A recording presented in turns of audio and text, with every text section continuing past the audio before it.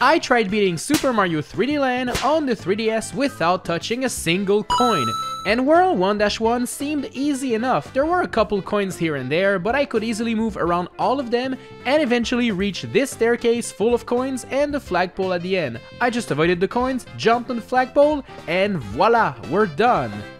Wait a minute, I get bonus coins from the time left? Does that mean it's impossible to beat this game without touching a coin?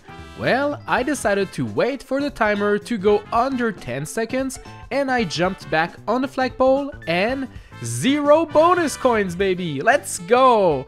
But that means I'll have to do this in every single stage, Ugh. Anyways,